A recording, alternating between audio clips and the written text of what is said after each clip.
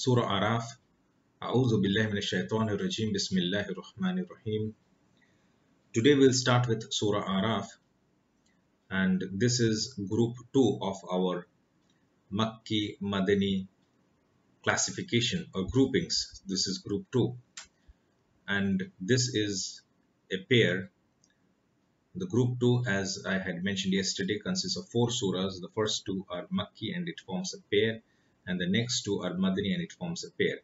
Yesterday we discussed about we we had a rapid and a brief explanation of Surah An'am and today inshallah we intend to look at Surah Araf. So Surah An'am and Araf they will form a pair and both are Makki surahs and so we, with this introduction we begin with Surah Araf. Alif Lam Mim Sod A book revealed unto thee so let thy heart be oppressed no more by any difficulty on that account that with it thou mightest warn the erring and a reminder to the believers. Follow, O men, the revelation given unto you from your Lord, and follow not as friends or protectors other than him. Little it is ye remember of admonition. How many towns have we destroyed for their sins? Our punishment took them on a sudden night, on a sudden by night, while they were while they slept for their afternoon rest. So our punishment took them on a sudden by night, or while they slept for their afternoon rest. When thus our punishment took them, no cry did they utter, but this indeed we did we did wrong. Then shall we question those to whom our message was sent and those by whom we sent it, and verily we shall recount their whole story with knowledge for we were never absent at any time or place.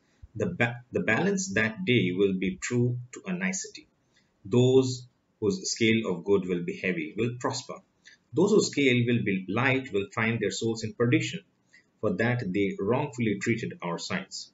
It is we who have placed you with authority on earth and provided you therein with means for the fulfillment of your life. Small are the thanks that he gave. It is we who created you and gave you shape. Then we bade the angels prostrate to Adam salam, and they prostrated not so Iblis. He refused to be of those who prostrate. So this is section 2 and this is verse number 11 where the story of Adam salam and Hawa salamun and Iblis it is repeated. If you remember, the last time we read this story was in Surah Baqarah. That was the first occurrence of the story of Adam al-Islam and Iblis. And this is the second occurrence in Surah Araf, chapter number 7, of the story of Adam al-Islam and Iblis. And, and the story is repeated some seven times in the Quran, and each time it gives some additional information. And uh, it is mentioned also in Surah Kahf and also in surahs before it and after it. But there is something extremely remarkable about this story about this narration which is mentioned in Surah Kahf. So in that there is a specific additional information. As I said, each time the story is repeated, it gives some additional information about the story. So when we reach Surah Kahf, inshallah, we'll see what that additional information is. And here also, we already remember what's mentioned in Surah Baqarah. We did it just a few days back, so we should remember it. And we will look at what additional information this story provides. It, it is sometimes said that why is the single story mentioned so many times in the Quran? Why is this repetition there in the Quran? The answer to this question is uh, the Quran was revealed in bits and parts, and every time a specific aspect needed to be informed to the people to serve a specific purpose, it was done so. Even then, the the stories are are threaded together in in the different narrations in such a manner that whatever information is provided at that point of time is most appropriate if we take the context uh, in, into account of what follows before and after it and in the story itself. So with this uh, small explanation, let's proceed with the story and try to under, appreciate what's the additional piece of information, how it helps us. Allah said, What prevented thee from prostrating when I commanded thee? He said, I am better than he Thou didst create me from fire and him from clay. Allah said, Get thee down from it. It is not for thee to be arrogant here. Get out, for thou art of the meanest of creatures. He said, Give me respite till the day they are raised up. Allah said, Be thou among those who have respite. He said, Because thou hast thrown me out of thy way, lo, I will lie in wait for them on thy straight way. Then will I assault them from before them and behind them, from, from their right and their left, nor will thou find most of them gratitude for thy mercies. Allah said, Get out from this, despised and expelled. If any of thee, if, if any of them follow thee, hell will I fill with you all. Ya Adam, O Adam, O Adam salam, dwell thou and thy wife in the garden, and enjoy its good things as you wish. But approach not this tree, lest you become of the unjust. We have explained about the, the narration of this tree, why the reference to this tree and not the specific name of this tree, during a discussion on Surah Baqarah. Uh, we already discussed in Surah Baqarah. then began Satan to whisper suggestions to them in order to reveal to them their shame that was hidden from them before. He said, your Lord only forbid you this tree, lest you should become, lest you should become angels or such things as live forever. And he swore to them both that he was their sincere adviser.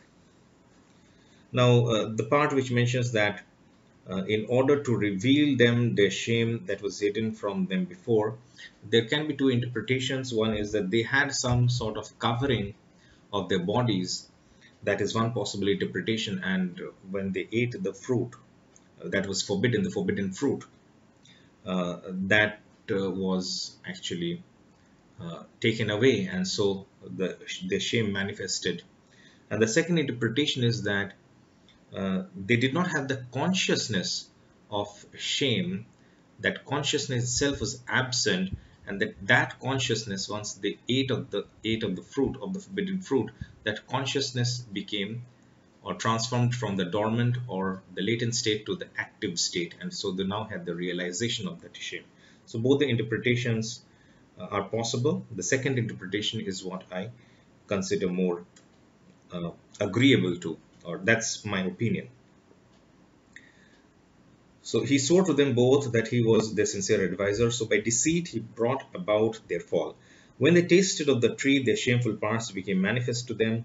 So how this became manifest to them, this is what we had discussed just now about the two possible interpretation of which I like to go with the second interpretation that the consciousness itself was absent and now it was made active in them. And they began to sew together the leaves of garden over their bodies, and their Lord called unto them, Did I not forbid you that tree, and tell you that Satan was an avowed enemy unto you? So this is the part which is important. The statement is very important, specifically this part. Inna shaytana lakuma aduwwum mubin. Now, now there is a beauty in the Arabic grammar uh, which uh, I mean, it's not a beauty, it's a grammatical rule, it's a grammatical construct for Arabic as a language. Different languages will have different ways to express different things. In Arabic, uh, there is something called singular, there's something called dual, and there's something called plural. Singular, dual, and plural. In the other languages, for example, in English, we have singular and plural. There's no concept of dual. Dual is treated as a subset of plural. It's considered to be plural. So this part, inna shaitana lakuma aduvum mubin. Verily, Satan, and the translation that they have made is is appropriate in a way. Uh, that Satan, that Satan was an avowed enemy unto you. So inna shaitana, that is indeed uh, the Satan, lakuma, is for you too. Now the word lakuma is dual, so is for you too because this is more appropriate because there was no humanity. Only the two of them were present. Uh, our father adam al-islam and our mother hawa salamun alayha. So lakuma that is why the dual form is used lakuma. Otherwise lakum would be the plural form. Uh, lakuma adu wum mubin. Adu is enemy. Adu wum mubin. And uh, mubin is clear open is, is an avowed enemy, is a clear enemy, is an open enemy. So this part is actually very important and I put a lot of emphasis on this verse for a number of reasons. Also because some people they say that the Dajjal is not mentioned in the Quran. So how we relate the Satan, the Dajjal, etc. And we actually uh, give we will go, actually go into the elaborate analysis, not obviously in great details, but in some details during our discussion on Surah Kahf, where we actually explain the relationship Satan and Dajjal and and the jinns and the human beings, etc. So it does mention in the Quran that the Satan is the greatest enemy of mankind. But in spite of that, for whatever reason, uh, whether you understand it or not understand we will try to explain obviously uh, in during a discussion of Surah Kahf, the Prophet ﷺ, he stated that the Dajjal is the greatest fitna. So why is this and how is this and what is this exactly? What exactly does it mean, etc. We'll go into the details during our discussion on Surah Kahf. So in verily say the Satan is unto you, uh, is unto you too an avowed enemy, a clear enemy, an open enemy. so the Quran mentions the Satan as the greatest enemy of mankind and the Prophet ﷺ, he mentioned the Dajjal as the greatest fitna of mankind. What's the relationship between the two? Is there a conflict between the two statements? Obviously, there is no conflict between the two statements, but apparently the conflict that appears, how to resolve them. So some of these things we will discuss during our discussion on Surah Kahf. They said, Our Lord, we have wronged our own souls. If thou forgive us not, and bestow not upon us thy mercy, we shall certainly be lost. Allah said, Get ye down with enmity between yourselves, on earth will be your dwelling place, and your means of livelihood for a time. He said, Therein shall ye live, and therein shall ye die, but from it shall ye be taken out at last. So this was about the story of story of Adam alayhi salam. So this is the additional information and also certain additional details are also mentioned in this passage. But this passage this part is very important in shaitana lakum mubin. So try to remember this part and we'll get into the uh, detailed analysis during our discussion on surah kahf. O ye children of adam adam islam we have bestowed raiment upon you to cover your shame as well as to be an adornment to you. But the raiment of righteousness that is the best such are among the signs of Allah that they may receive admonition.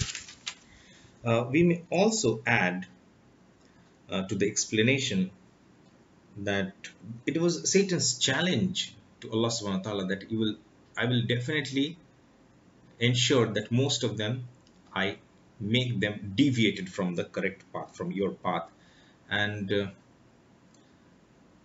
is this coming out to be true today if that is so who is contributing to Satan's success. It is human beings themselves. Isn't it a matter of great shame that we should contribute to the success of Satan? It's a shame upon us. It's a shame upon humanity as a whole. But then, uh, not everyone will be deviated, and so there will be remain those who are the righteous.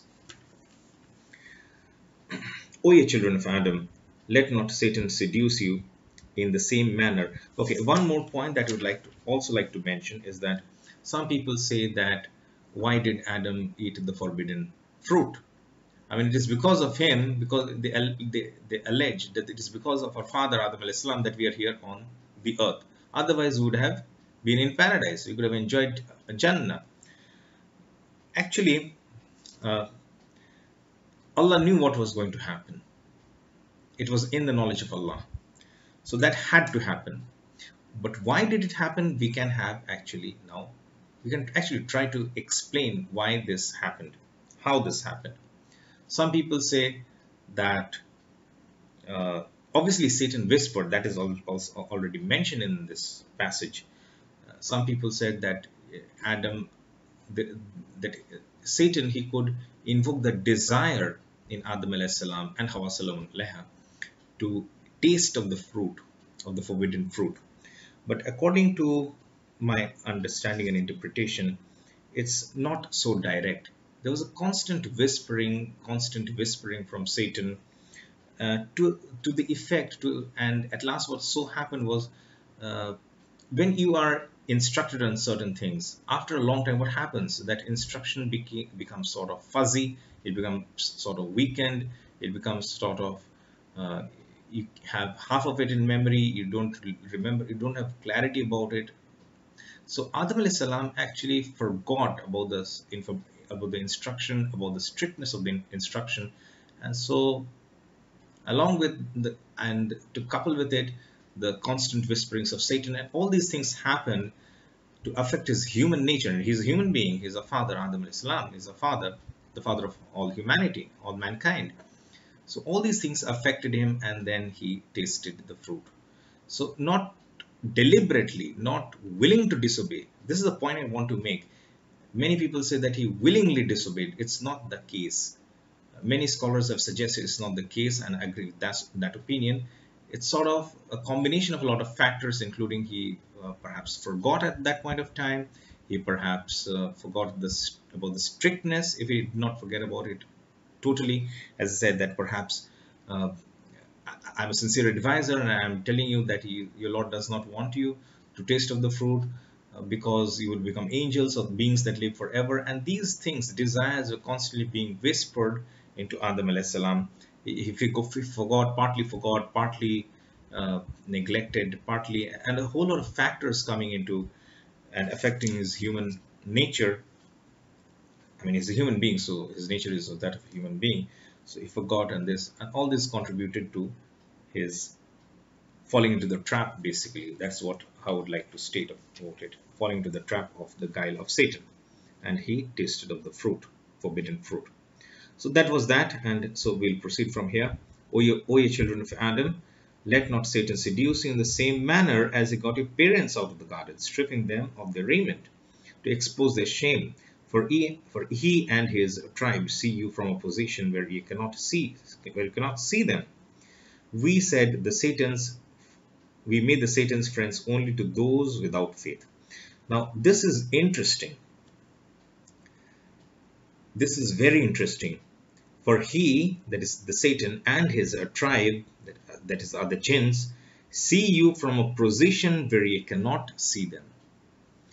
According to my understanding, this refers to other dimensions. That's the most appropriate and logical and rational answer. It may be difficult for some of you who does not have sufficient knowledge about physics, etc. But that's what it is. For example, uh, we are three-dimensional beings. Apparently, we are three-dimensional beings. We understand three spatial dimensions. And we also understand uh, one dimension of time very easily that's the fact that's the sort of faculties we have been given and which we can capture. But then imagine for a while that a two-dimensional being exists. He will not be able to conceive of a three-dimensional reality of a three-dimensional world. So for us it is very difficult to conceive of a four-dimensional being. But if the jinn i'm not saying the jinn has to be a four-dimensional being it can be any higher dimensional being but if the jinn were to be a four dimensional being then he would be very easy i mean it would be very easy for him to understand the reality of our three-dimensional world but it would be very difficult for us to do the reverse. That is as three-dimensional beings it would be very difficult for us to understand and extrapolate a four-dimensional concept. So that is why it is mentioned that he can see you and his tribe can see you from a position from where where ye cannot see them because you don't have the faculties to penetrate the reality of the four dimensions through these physical eyes and even intellectually it's very difficult to conceive of such a concept so this is and these are some of the things about the dimensions that we intend to inshallah speak at length during a discussion on Surah Kahf. I'm again and again referring to Surah Kahf primarily with two things if you have noticed carefully. One is about the Samavat, the dimensions, and the second is about the concept of Dajjal and the related issues. When they commit an indecency, they say, we found our fathers doing so. And Allah commanded us thus, say, Nay, Allah never command what is indecent. Do ye say of Allah what ye know not? Say, My Lord hath commanded justice and that ye set your whole selves to him at every time and place of prayer, and call upon him, making your devotion sincere, such as he created you in the beginning, so shall ye return. Some he hath guided, others have deserved the loss of their way, in that they took the Satans in preference to Allah for their friends and protectors and think that they receive guidance. O children of Adam, wear your beautiful apparel at every time and place of prayer. Eat and drink, but waste, but waste not by excess, for Allah loveth not the wasters. So, the word used is israf, from which it is derived musrif. Uh, israf is waste, extravagance. Musrif is the one who wastes, one who commits extravagance. So musrifin is the plural of mus, musrif. La yuhibbul musrifin. Uh, hub is is love. So la yuhibbul musrifin. Allah does not, negation lies negation. Allah does not love the wasters. Say, who hath forbidden the beautiful gifts of Allah, which he hath produced for his servants, and the things clean and pure, which he hath provided for sustenance? Say, they are in the life of this world for those who believe, and purely for them on the day of judgment. Thus do we explain the signs in detail for those who know. Say, the things that my Lord hath indeed forbidden are indecent deeds, whether open or secret, sins and trespasses against truth or reason, assigning of partners to Allah, for which he hath given no authority, and saying things about Allah of which ye have no knowledge to every people is a term appointed. When their term is reached, not an hour can they cause delay, nor an hour can they advance it in anticipation. O ye children of Adam, whenever there come to you messengers from amongst you, rehearsing my signs unto you, those who are righteous and mend their lives, on them shall be no fear, nor shall they grieve. But those who reject our signs and treat them with arrogance, they are companions of the fire, to dwell therein forever. Who is more unjust than one who forgive, forges a lie against Allah or rejects his signs? For such their, their portion appointed must reach them from the book of decrees until when the messengers of death arrive and take their souls. They say, Where are the things that you used to invoke besides Allah? They will reply, They have left us in the lurch, and they will bear witness against themselves that they had rejected Allah. He will say, Enter in the company of the peoples who passed away before you, men and jinns, into the fire. Every time a new people enters, it curses its sister people that went before, until they follow each other all into the fire. Saith the last about the first, Our Lord, it is these that misled us. So give them a double punishment in the fire. He will say, Doubled for all, but this, but this ye do not know. This is a very interesting and very frightening conversation that's uh, being depicted. What will happen, the scenario on the day of judgment and when people are about to be thrown into the fire. The latter ones will say, Our Lord, it is these who misled us. It is because of these former peoples that we had been misguided in the life of the world. So double their punishment. Now they cannot avoid the punishment. They know that they have to go into the fire. So they will say, at least for those who have entered before us, it is because of these people we were misled. So double the punishment. He will say, double for all. But this ye do not know. Then the first will say to the last, See then, no advantage have ye over us. So taste ye of the chastisement for all that he did. And the former ones who are already in the fire, they will say, did you have no understanding? Who told you to follow us? I mean, that's what the common understanding in, in, in interpretation is. There's no two difference of opinion about this. Who told you to follow us? You could have followed your own way. You could have followed the truth. Why did you not do so? So on the day of judgment, just this logic that our fathers and our forefathers did this, can they be wrong? This is what's going to happen. So take heed. So then the first will say to the last, see then no advantage have you over us if you invoked double punishment for us, it's double for you as well. So taste of the chastisement of all that you did. To those who reject our signs and treat them with arrogance, no opening where will there be of the gates of heaven, nor will they enter the garden until the camel can pass through the eye of the needle. Such is our reward for those in sin. This is a beautiful simile that is being given. um, uh, that the people of the hellfire, those who are destined for permanent hellfire, they cannot enter the heaven, unless a, a camel can pass through the eye of the needle. Can the camel pass through the eye of the needle? They cannot. So similarly, the people of the hellfire who are destined for permanent hellfire, they can never enter paradise or heaven. For them there is hell as a couch below and folds and folds of covering above. Such is our requital of those who do wrong. But those who believe and work righteousness, no burden do we place on any soul, but that which it can bear. They will be companions of the garden, therein to dwell forever. And we shall remove from their hearts any rancor. Beneath them will be rivers flowing, and they shall say, Praise be to Allah who hath guided us to this felicity. Never could we have found guidance had it not been for the guidance of Allah. Indeed, it was the truth that the messengers of our Lord brought unto us. And they shall hear the cry, Behold the garden before you.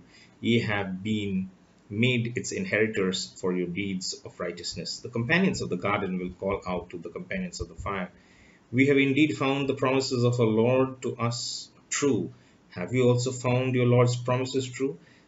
They shall say, Yes, but a crier shall proclaim between them, The curse of Allah is on the wrongdoers those who would hinder men from the path of Allah, desiring to make something crooked, they were those who denied the hereafter. But the, between them shall be a veil, and on the heights, the word the heights. This is, uh, I mean, in Arabic it's Araf, Al Araf. This is where the chapter derives its name. This is verse number 46. Between them shall be a veil, and on the heights will be men, and on the Araf will be men who would know everything by his marks. They will call out to the companions of the garden, Peace be upon you. They have not entered it, but they still hope to enter it. But they still hoped to enter it. When their eyes shall be turned towards the companions of the fire, they will say, Oh, our Lord, send us not to the company of the wrongdoers. The men on the heights will call to certain men whom they will know from their marks, saying, Of what profit to you were your hordes and your arrogant ways. Behold, are these not the men whom you swore that Allah with His mercy would never bless? Enter ye the garden. No fear shall be on you, nor shall ye grieve.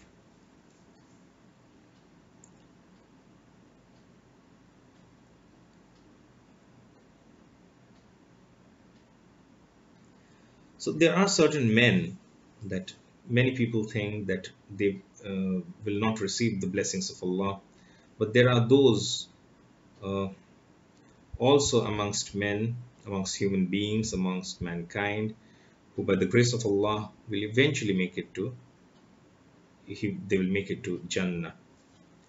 The companions of fire will call to the companions of the garden, pour down to us water or anything that Allah doth provide for your sustenance. They will say, both these things hath Allah forbidden to those who rejected him, such as took their religion to me to be mere amusement and play, and were deceived by the life of the world.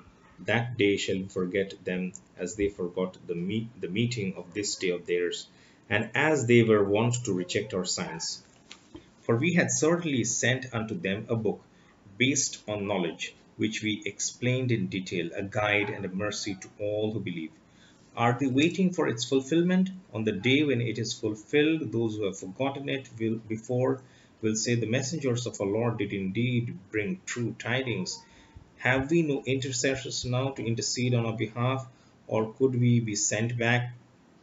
Then should we behave differently from our behavior in the past?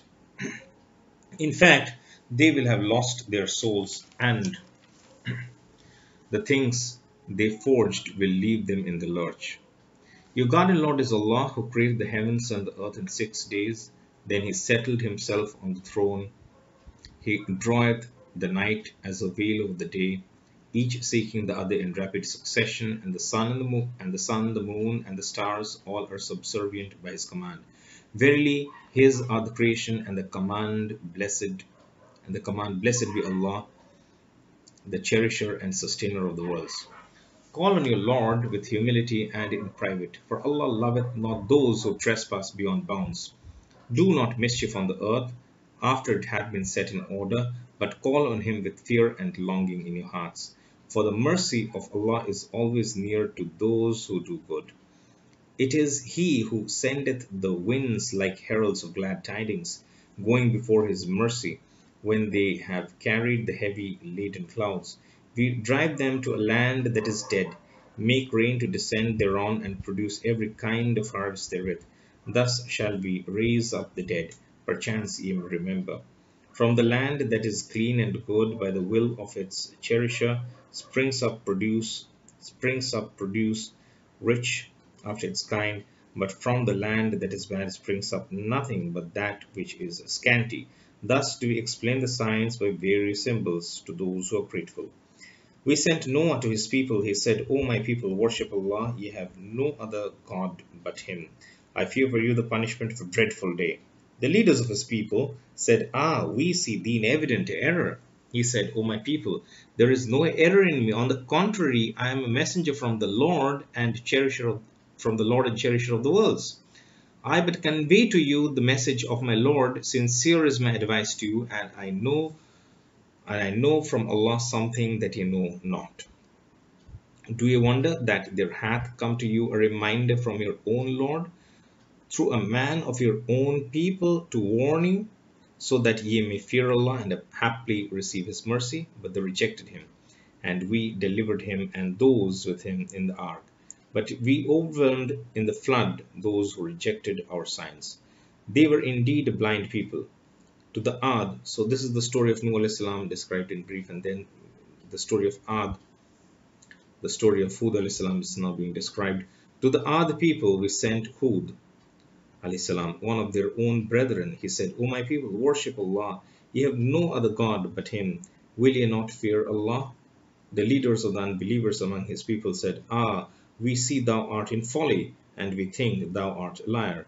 He said, O my people, there is no folly in me, but I am a messenger from the Lord and cherisher of the worlds. From the Lord and cherisher of the worlds. I but convey to you the messages of of my Lord, I am to you a sincere and trustworthy, trust, trustworthy advisor. Do you wonder that there hath come to you a message from your own from your Lord through a man of your own people to warn you? Call in remembrance that he made you inheritors after the people of Noah, and gave you a gave you a stature tall among the nations. Call in remembrance the benefits ye have received from Allah so that so ye may prosper. They said, Comest thou to us that we may worship Allah alone and give up that which our fathers used to worship? Bring us what thou threatenest, threatenest, threatenest us with, if so be that thou tellest the truth. He said, Punishment and wrath have already come upon you from your Lord. Dispute ye with me over names which ye have devised, ye and your fathers, without authority from Allah, then wait, I am amongst you also waiting. We saved him and those who adhered to him by our mercy, and we cut off the roots of those who rejected our signs and did not believe. So, with this, the story of Hud al-Islam ends and the story of Salih al-Islam begins. The Thamud people, the story of Salih al-Islam. To the Thamud people we sent Salih salam, one of their own brethren. He said, O my people, worship Allah, ye have no other God but Him. Now hath come unto you a clear sign from your Lord. This she-camel of Allah is a sign unto you. So leave her to graze in Allah's land, and let her come to and, and let her come to no harm, or ye shall be seized with a grievous punishment. And remember how we made you inheritors after the Ad people, and gave you habitations in the land. Ye build for yourselves palaces and castles in open plains, and carve out homes in the mountains. So bring to remembrance of the benefits ye have received from Allah, and refrain from evil and mischief on the earth. The leaders of the arrogant party among his people said to those who were reckoned powerless, those among them who believed, Know ye indeed that Salih is a messenger from his Lord? They said, We do indeed believe in the revelation which hath been sent through him. The arrogant party said, For our part we reject what ye believe in. Then they then they hamstrung the she camel and insolently defied defied the order of the Lord, saying, O Saleh, bring about thy threats, if thou art a messenger of Allah. So the earthquake took them unawares, and they lay prostrate in the homes in the morning. So Saleh salam left them, saying, O my people, I did indeed convey to you the message for, for which I was sent by my Lord. I give you good counsel, but ye love not good counselors. With this, the story of Salih salam ends and the story of Lut salam now begins. We also sent Lut salam. He said to his people, Do ye commit lewdness such as no people in creation ever committed before you? So this is talking about gay or homosexuality. Uh, this social evil appeared for the first time during the time of Lut salam. For you practice your lusts on men in preference to women, you are indeed a people transgressing beyond bounds. And this and his people gave no answer but this. They said, Drive them out of our city. These are indeed men who want to be clean and pure. but we saved him and his family, except his wife. She was those who lagged behind. Now, about the story of the wife of Asal, uh, about the wife of Lut salam, it is mentioned that she was not an unchaste woman, but then what so happened was that she uh, maintained good relations with the with the pervert men, in the sense that uh, when the angels came to visit Lut salam and Ibrahim salam in the form of man, handsome men, so she informed the perverted transgressors, the homosexuals, the gays, basically. Uh, she broke the news to them, and so those people came in search of their new targets. What what more could I say? New targets. So this is the crime she was involved in. This is a sin she was involved in, and hence, as a punishment, she was of those who lagged behind. This is how Allah describes the event. And we rained down on them a shower of brimstone then see what was the end of those who indulged in sin and crime. So with this, the story of the story of Lut salam ends and the story of Shu'aib salam begins. Now about Shu'aib salam, it is mentioned, or I should, uh, may, I'll give a very brief background about Shu'aib salam. Uh, I mean, my name is based on his name. Shu'aib Muhammad is name of, of two prophets. So I'm his namesake. I should have I, sh I should not call the reverse that he's my names obviously. For he is a prophet of Allah. He's a prophet and messenger of Allah. And he lived many generations before.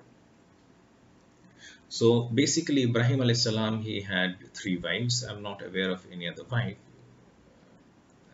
It may be he had more, but I'm aware of three.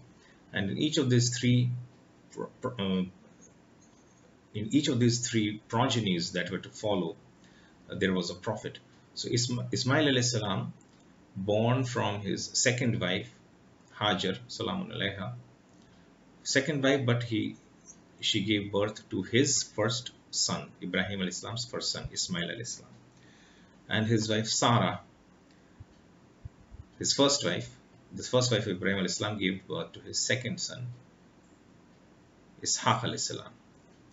And there was a third wife, Katura. Eh, in the Bible, it's referred to as Ketura.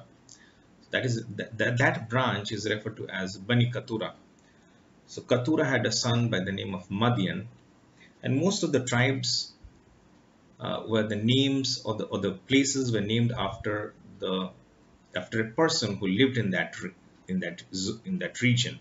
For example, the people of Ad, Ad was a person, and the people of Samud Samud is the name of place, but it was the name of a person originally, after whom that place was also referred to as the place of Samud So Madian was the name of a place, the same place that Musa al-Islam spent a good amount of his life uh, in, in Madian. So Madian was a person and he was the son of Ketura, so the third son of Ibrahim al-Islam. So two of his sons were direct prophets. Ismail salam and Ishaq salam. But Madian was not a prophet. But in the progeny of Madian, there came a prophet, and he was Prophet Shuaib alayhi salam. So to the Madian people were sent Shuaib. Why I give the details is because about Ismail alayhi salam and Ishaq alayhi salam, we have a lot of information, but very few people know about uh, Shuaib alayhi salam. Where does he actually come in? Where does he actually fit in? So he is one of the uh, generations after Madian, who was the son of Ibrahim alayhi salam through his third wife, Katura. To the Madian people, we sent Shuaib alayhi salam, one of their own brethren. He said, O my people, worship Allah. You have no other God but Him. Now hath come unto you a clear sign from your Lord. Give just measure and weight, nor withhold from the people the things that are their due. And do no mischief on the earth after it has been set in order. That will be best for you if you have faith. So the first time the, the economic and the financial evil that started was during the time of Shuaib al-Islam. The people committed this. They gave less measure and less weights when they sold things. So Shuaib al-Islam warned against this economic corruption and then uh, that, that story is being now described. And squat not on every road, breathing threats, hindering from the path of Allah those who believe in Him and seek to make it crooked. But remember how ye were little and he gave you increase and see what was the end of those who who did mischief. And if there is a party among you who believes in the message with which I have been sent and a party which does not believe, hold yourselves in patience until Allah doth decide between us, for he is the best to decide. So this is in the middle of the story of Shuaib al-Salam and uh, the the juz number 9 begins and it has cut across the story of Shuaib al-Salam. So the juz number 9 actually begins with this verse. The leaders, the arrogant party among his people said, O Shuaib, Ya Shuaib, O Shuaib al-Salam, we shall certainly, I mean they did not call him Shuaib al-Salam, we are calling him Shuaib al-Salam we name the we refer to all the prophets as with alayhi salam. So, O, o alayhi we shall certainly drive thee out of the city, thee and those who believe with thee, or else ye, thou and they shall have to return to our religion. He said, What even though we do detest them? we should indeed forge a lie against Allah if we return to your religion after Allah hath rescued us therefrom. Nor could we be by any manner of means return thereto, unless it be as in the will of Allah our Lord. Our Lord comprehends all things in His knowledge, in Allah is our trust. Our Lord, decide thou between us and our people in truth, for thou art the best to decide. The leaders, the unbelievers among his people said, If ye follow Shuaib salam, be sure then ye are ruined. But the earthquake took them unawares, and they lay prostrate in their homes before the morning. The men who rejected Shuaib salam became as if they had never been in their in the homes where they had flourished. The men who rejected Shuaib, it was they who were ruined. So Shuaib salam left them, saying, O my people, I did convey to you the message for which I was sent by my Lord. I gave you good counsel, but how shall I lament over a people? How, but how shall I lament over a people who refuse to believe?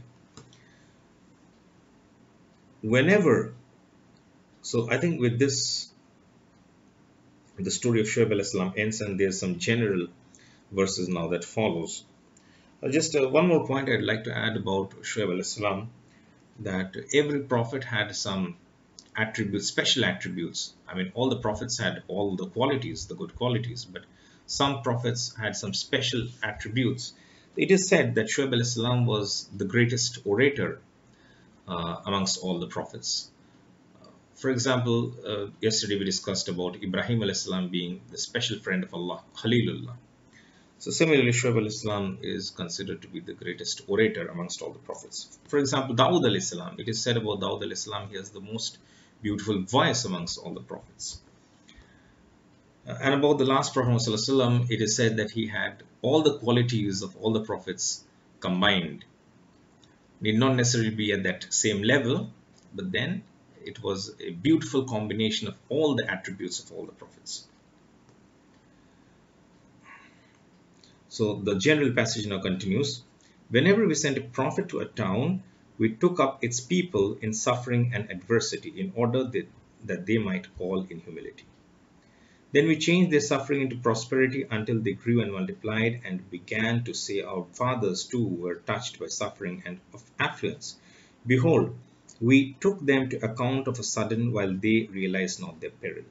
If the people of the towns had put had but believed and feared Allah, we should indeed have opened out to them all kinds of blessings from heaven and earth. But they rejected the truth, and we brought them to book for their misdeeds. Did the people of the towns feel secure against the coming of a wrath by night while they were asleep? Or else did they feel secure against its coming in broad daylight while they played about carefree? Did they then feel secure against Allah's devising, but no one can feel secure from the plan of Allah except those doomed to ruin. To those who inherit the earth in succession to its previous possessors, is it not a guiding lesson that, if we so willed, we could punish them too for their sins and seal up their hearts so that they could not hear? So we'll continue basically with Surah Araf. Such were the towns whose story we thus relate unto thee. There came indeed to them their messengers with clear signs, but they would not believe what they had rejected before. Thus doth Allah seal up their hearts of those who reject faith. Most of them we found not men true to the covenant, but most of them we found rebellious and disobedient. Then after them we sent Moses with our signs to Pharaoh and his chiefs, but they wrongfully rejected them. So see what was the end of those who made mischief. Moses said, O Pharaoh, I am a messenger from the Lord of the worlds one for one for whom it is right to say nothing but truth about Allah. Now have I come unto you, unto you people, from your Lord with a clear sign. So let the children of Israel depart along with me. Pharaoh said, If indeed thou hast come with a sign, show it forth if thou tellest the truth. Now we are already into the story of Musa salam and Pharaoh and the conversation with Pharaoh. Then Moses threw his rod, and behold, it was a serpent, plain for all to see. And we and he drew out of his hand, and behold, it was white to all beholders. Said the chiefs of the people to Pharaoh, This is indeed a sorcerer well versed. His plan is to get you out of your land. Then what is it ye counsel? He said, they said, Keep him and his brother in suspense for a while, and send the city's men to collect, and bring up to thee all our sorcerers well versed. So there came the sorcerers to Pharaoh. They said, Of course, we shall have a suitable reward if we win. He said, Yeah, and more, for ye shall in that case be raised to post nearest to my person. They said, O Moses, will thou throw first, or shall we have the first throw? Said Moses, Throw ye first. So when they threw, they be bewitched the eyes of the people and struck terror into them and they showed a great feat of magic. We revealed to Moses, Throw thy rod, and behold, it swallows up all the falsehoods which they fake. Thus truth was confirmed, and all that they did was made of no effect. So they were vanquished there and then, and turned about humble.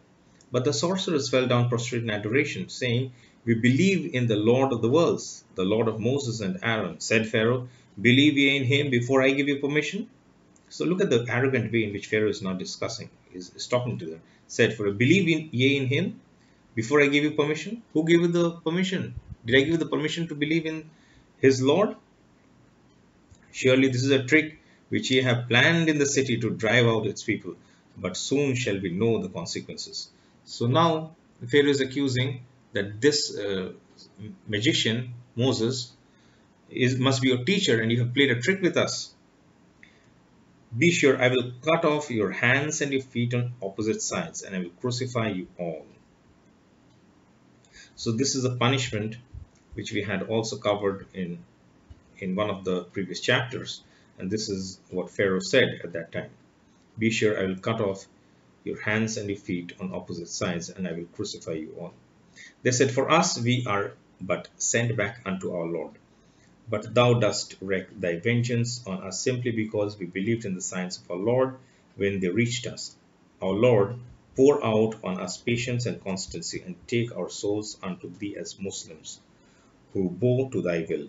Said the chiefs of Pharaoh's people, Will thou leave Moses and his people to spread mischief in the land and to abandon thee and thy gods? He said, Their male children will be slain, only their females will be saved alive, and we have over them power irresistible. Said Moses to his people, Pray for help from Allah and wait in patience and constancy. For the earth is Allah's to give us as a heritage to such of his servants as he pleaseth. This is interesting, this is important. The earth, the earth is Allah's, that's fine, but he gives. To whom does he give? The earth to. To give us, to give as a heritage to such of his servants as he pleaseth.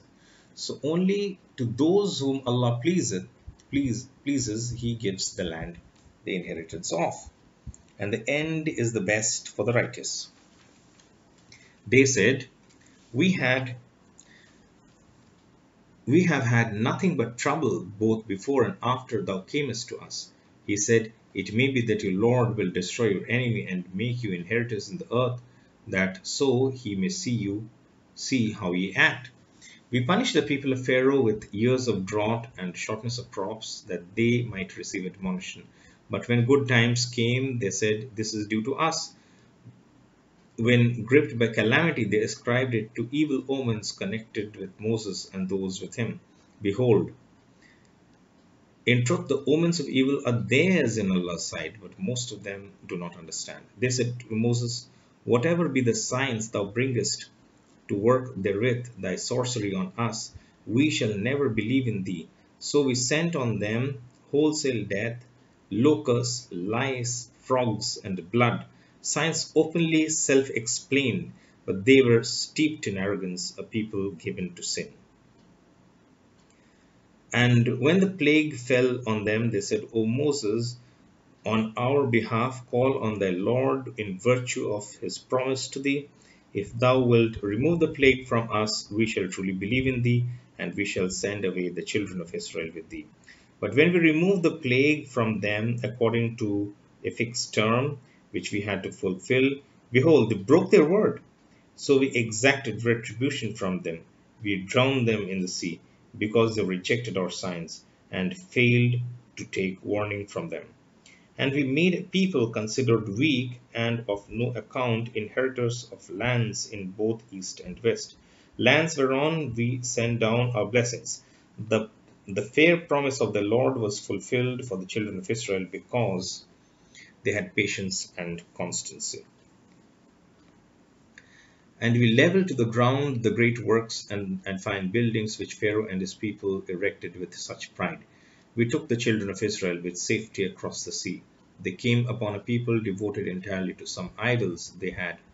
They said, O Moses, fashion for us a god like unto the gods they have. He said, Surely ye are a people without knowledge. As to these folk, the cult they are in is bound to destruction, and vain is the worship which they, which they practice.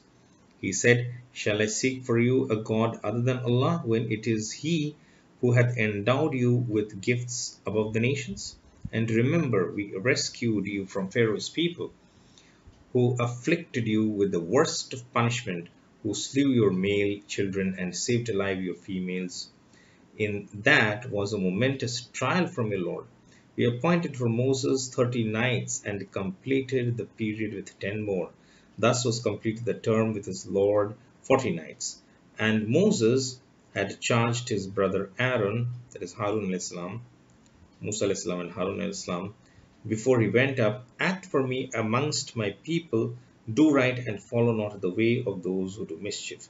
When Moses came to the place appointed by us, and his Lord addressed him, he said, O my Lord, show thyself to me.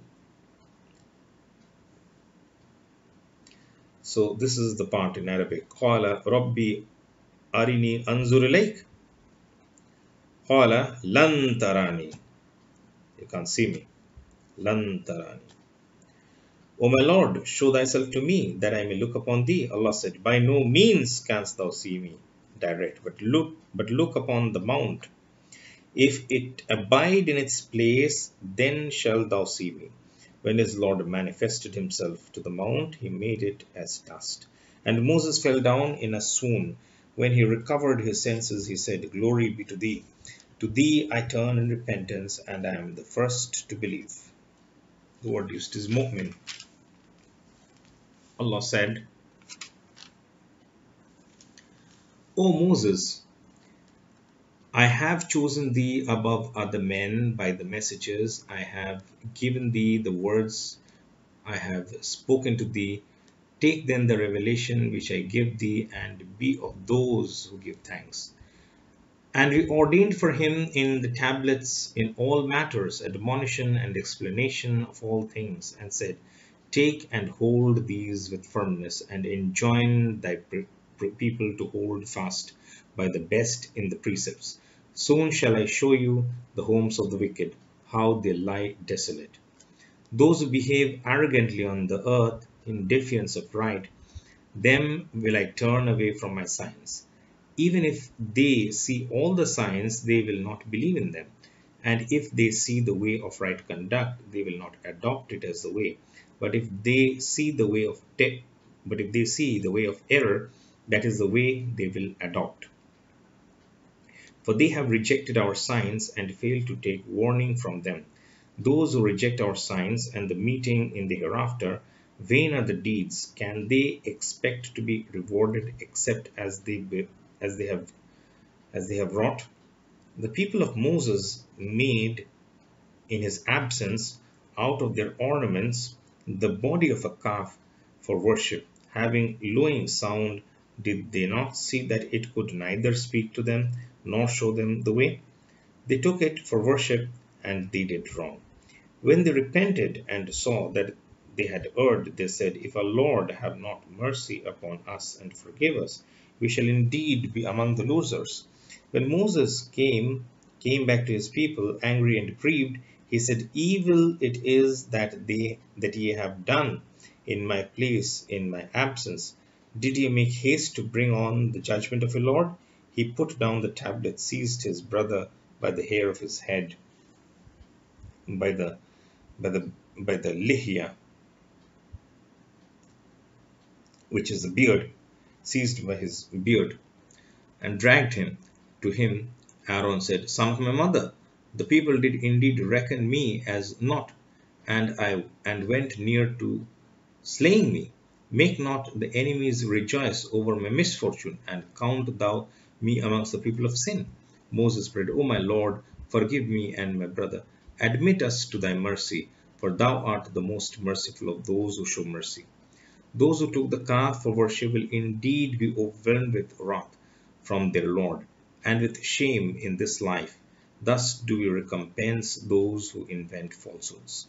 But those who do wrong, but repent, before proceeding, uh, a derived point that we can make from this particular verse, from verse number 150, is the only reference about the beard in the Quran. Uh, besides this particular verse, there are many statements in the Hadith statements in the Hadith that which speaks about the beard, the status of the beard as being fard, as compulsory. And so that's uh, one thing which I thought I could just state about this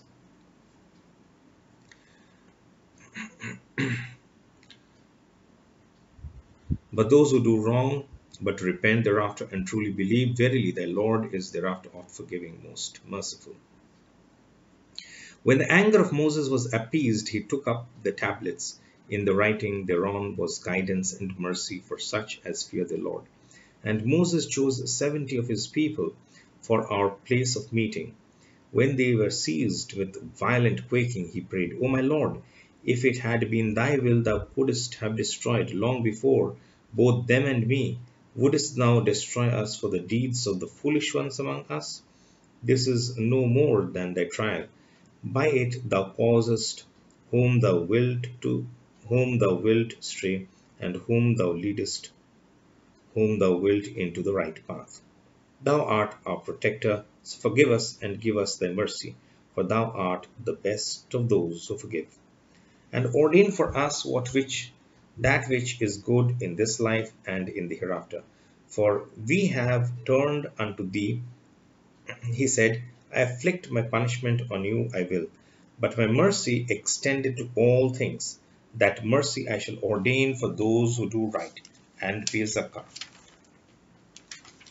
and those who believe in our signs. Those who follow the messenger, the unlettered prophet, whom they find mentioned in their own scriptures, in the Torah, in the Torah and the Gospel, for he commands them what is just and forbids them what is evil. He allows them as lawful what is good and pure and prohibits them for, from what is bad and impure. He releases them from their heavy burdens and from the yokes that are upon them. So it is those who believe in him, honor him, help him, and follow the light which is sent down with him. It is they who will prosper.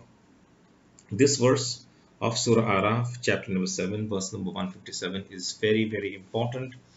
It says,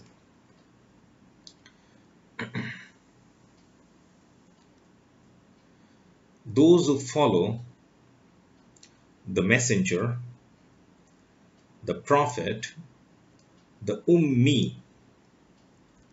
Now, the word ummi, which is usually translated as the unlettered, actually has two meanings.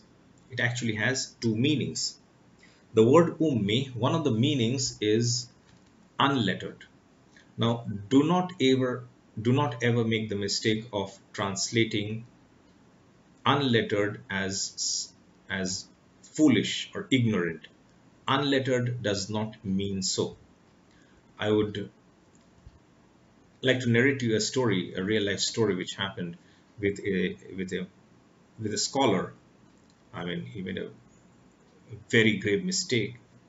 People considered him to be a scholar and he translated ummi as jahil. Jahil in in bangla or hindi or urdu it means ignorant foolish. And the people who were listening to that lecture got him down and gave him a good bashing. The bashing of his life so that he'll never forget and he will never make the mistake again of translating unlettered as ignorant or foolish as jahil now, unlettered simply means a person who is not able to read or write. That does not, that does not prevent him from becoming the most knowledgeable, from becoming the most wise of all people. And the Prophet ﷺ is a perfect example of that. A person who cannot read or write, but for one whose teacher is Allah Himself, he becomes the most knowledgeable and the most wise. So never make the mistake of translating ummi as anything else besides unlettered. Don't ever make the mistake of translating it as foolish or ignorant or jahil. Ummi has a second meaning. This is the normal meaning and when the Jews use the word ummi, they have a special connotation. They use it to refer to a non-Jew person, non-Jew person. And both the meanings are perfectly apt and appropriate for this verse. So those, so let us uh, read this verse with this understanding. Those who follow the Rasul, that is the messenger, the Nabi, that is the prophet, the Ummi, the unlettered person, as well as the non-Jew, a person who is not a Jew person, whom they find mentioned in their own scriptures. And about this prophet, about the Prophet they find mentioned in their own scriptures in the Torah, in the Torah and the Gospel, both in the Torah and the Injil. For he commands them what is just and forbids them what is evil. He allows them as lawful what is good and pure and prohibits them from what is bad and impure. He releases them from their heavy burdens and from the yokes that are upon them. So it is those who believe in him, honor him, help him and follow the light which is sent down with him. It is they who will prosper. So the Prophet ﷺ has been mentioned in, in, both in the Torah and the Injil, both in the Torah, Torah and the Gospel. And even to this day, if you read the Torah and the Gospel, uh, or the Torah and the Injil, you will find the references to the Prophet ﷺ even to this day. Now, this is one of my favorite subjects as as a, as an expert in comparative religion. This is one of my favorite subjects, but there's such a vast subject that if I go into it, it will take a long, long time to discuss.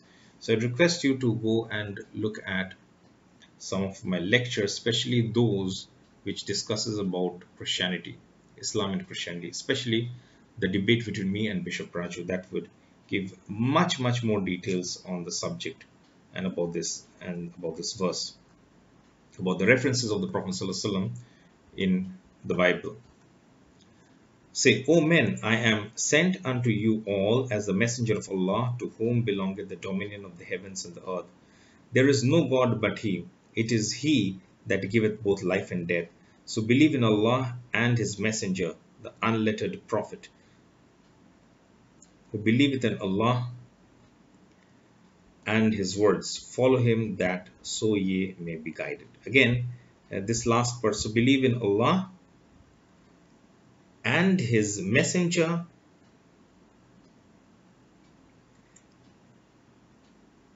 and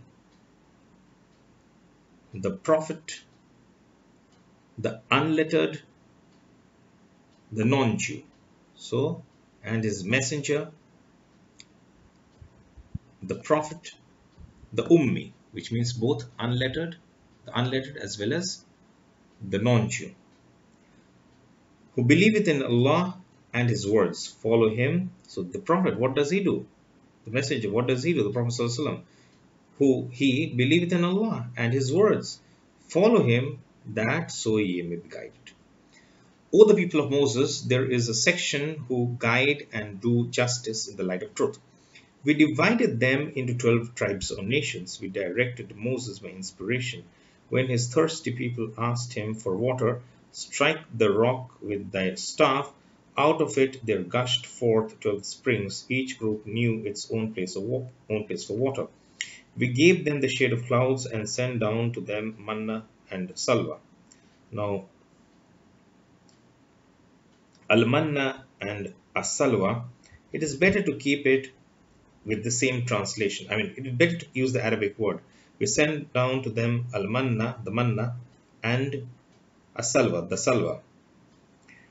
Now, manna, I think I've already explained this possibly in Surah Maida, that al-manna is some sort of grain, so it provides your carbohydrate requirements, and as-salwa is meat, bird meat, so it supplies your protein requirements, takes care of your protein requirements. So both grains and meat. We gave them the shade of clouds and, and sent down to them the manna and the salwa, saying, Eat of the good things we have provided for you. But they rebelled. To us they did no harm, but they harmed their own souls. And remember it was said to them, Dwell in this town and eat therein as ye wish, but say, Forgive us, and enter the gate in a posture of humility. We shall forgive you your faults. We shall increase the portion of those who do good. But the transgressors among them changed the word from what from that which had been given them, so we sent them sent on them a plague from heaven. For that they repeatedly transgressed. Ask them concerning the town standing close by the sea. Behold, they transgressed in the matter of the Sabbath. For on the day of the Sabbath their fish did come to them, openly holding up their heads. But on the day they had no Sabbath, they came not. Thus did we make a trial of them, for they were given to transgression. When some of them said, Why do you preach to a people whom Allah will destroy or visit with a terrible punishment? Said the preachers, To discharge our duty to, to, to your Lord, and perchance they may fear him. When they disregarded the warnings that had been given them, we rescued those who forbade evil, but we visited the wrongdoers with a grievous punishment, because they were given to transgression. When in their insolence they transgressed all prohibitions, we said to them, Be apes despised and rejected. We have already discussed this, uh, this verse which has come again in one of the previous chapters, Be apes despised and rejected. Behold, the Lord did declare that he would send against them to the day of judgment those who would afflict them with grievous chastisement. The Lord is quick in retribution, but he is also of forgiving, most merciful.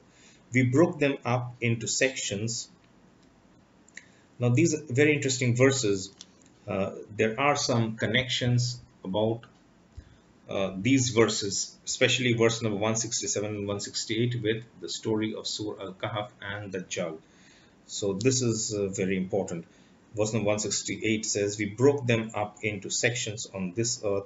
There are among them some that are the righteous and some that are the opposite. We have tried them with both prosperity and adversity in order that they might turn to us.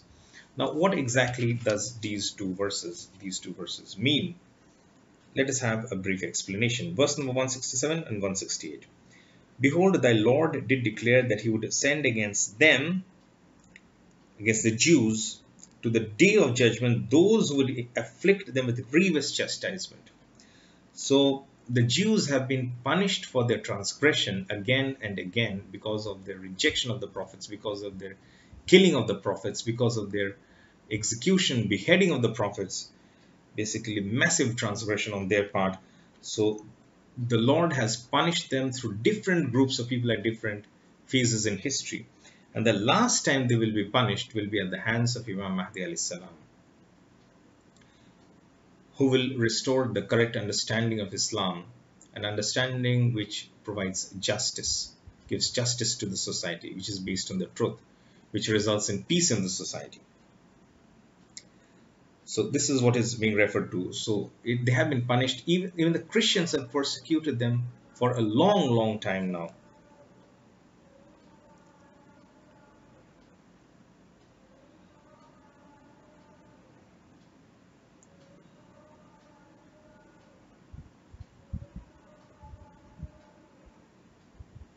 So this is close to Suhoor time, but we will try to cover the rest of the portions of this surah uh, quickly. Or at least let us complete this part of the explanation.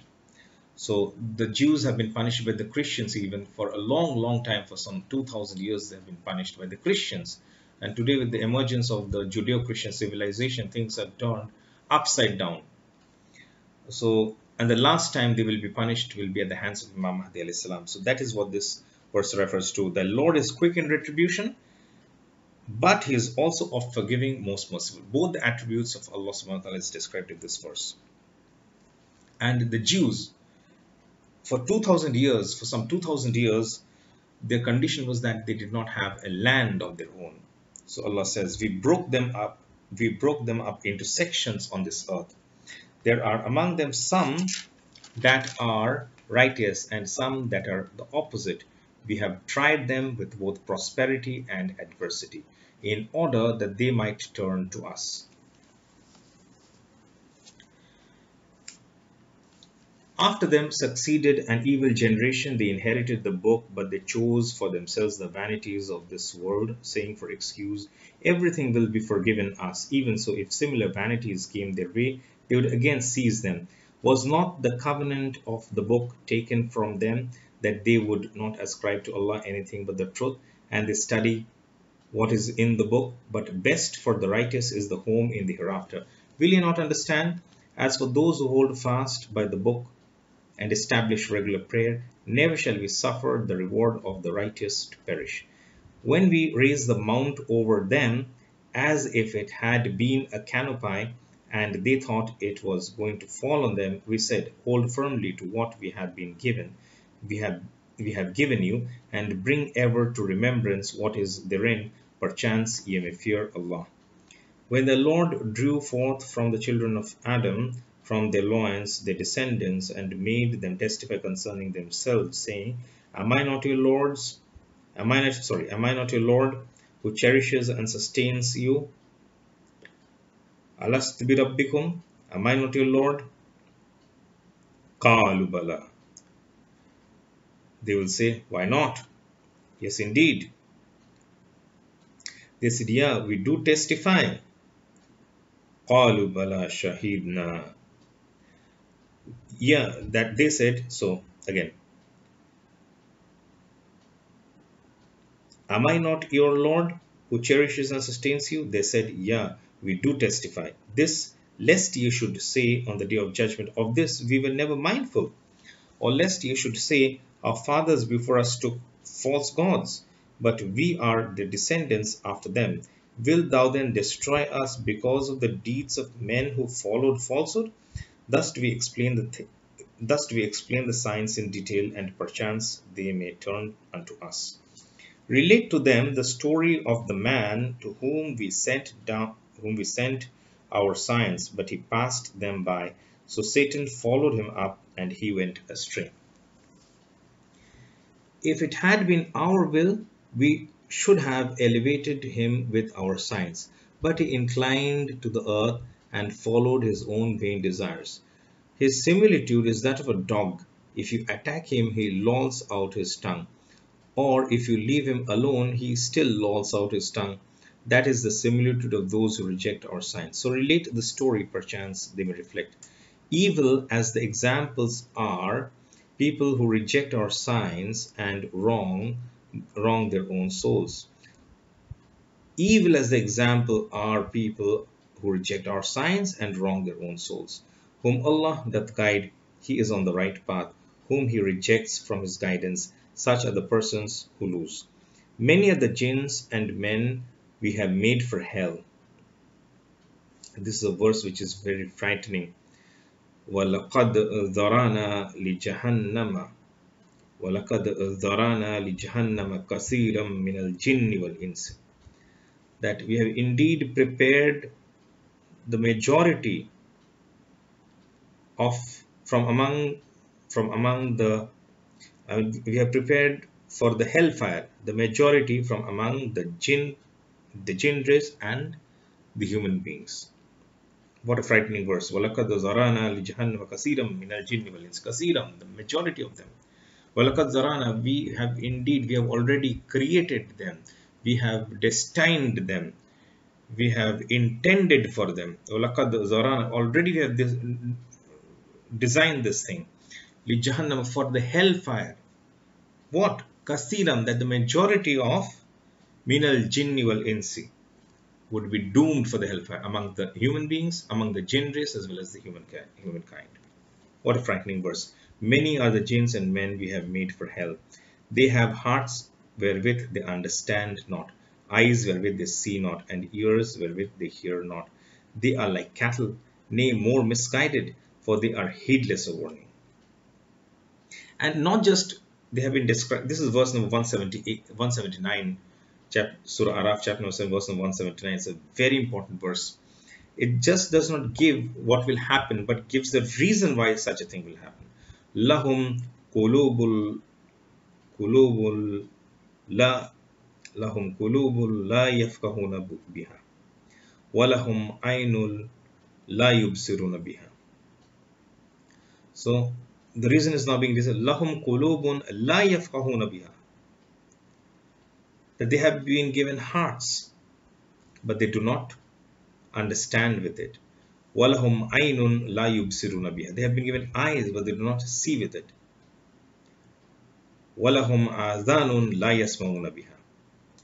And they have been given ears, but they do not hear with it. They are like cattle. No, they are more misguided than that.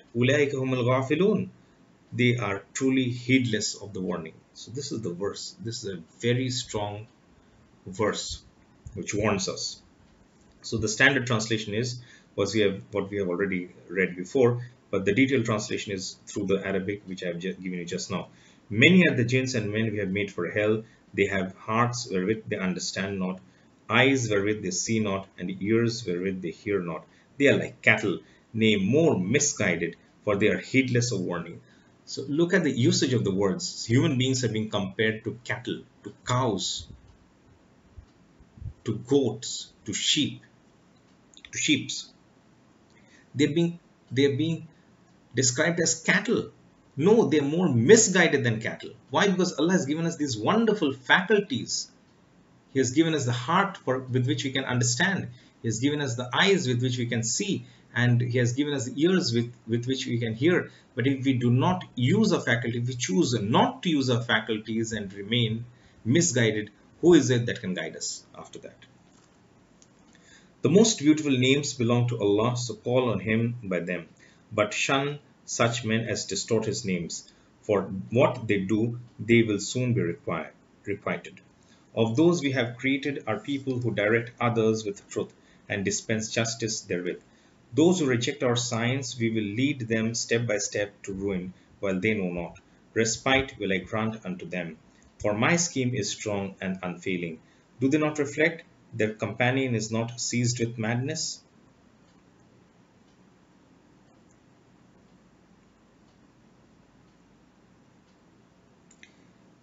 He is but a perspicuous warner.